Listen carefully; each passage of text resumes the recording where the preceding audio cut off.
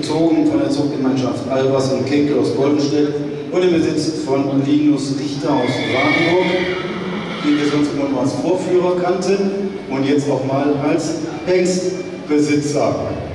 So kommt man die Karriere weiter ganz schnell hoch, wenn man bei Kolderweiß arbeitet. Äh, Crown Notting Hill, der Vater dieses 1,46 großen Hengstes, ein kompakter, kräftiger Hengst, der sich besonders, wenn man ihn am Anfang auf dem äh, Pflaster sah, eher etwas unscheinbar, aber als er sich dann in Bewegung setzt, sieht man, wie viel Kraft er doch mitbringt, wie viel Energie in der Trapparbeit. Das konnten Sie eben auch sehen, als er hier noch einmal in die Bahn kam. Äh, Im Freispringen war er heute so etwas hektisch, hat die Übersicht verloren.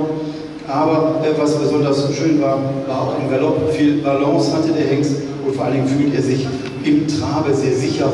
Dieses Pferd kommt auf die Hinterhand mit sehr viel Energiekraft, die durch den ganzen Körper geht, dabei immer locker und geschmeidig bleibend.